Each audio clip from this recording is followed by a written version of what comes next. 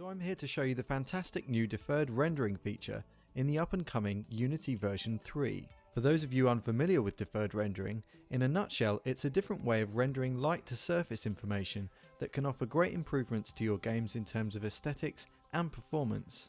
Unity 3.0 features a simple toggle in the player settings to choose between the existing forward lighting and deferred lighting, meaning that as soon as your scene needs to feature many lights, you can simply enable deferred lighting and maintain or even increase performance with the added visual benefits of further lighting.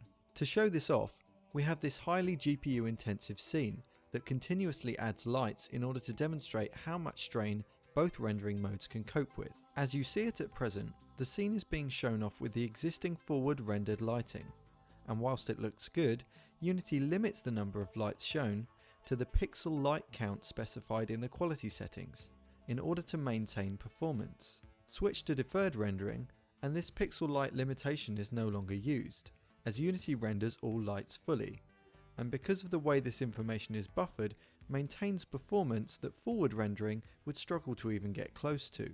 Let's take a look at this scene again more closely.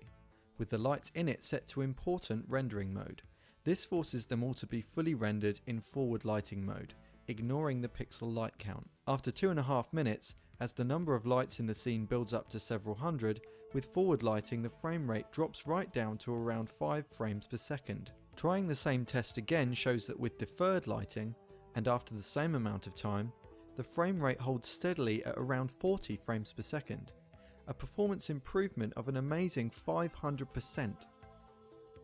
Performance boosts such as these also mean that previously very expensive camera effects are now viable with deferred rendering. For example screen space ambient occlusion or depth of field effects, both fully available in the new Unity 3 image effects, allowing you to deliver even more mind-blowing professional games to your audience.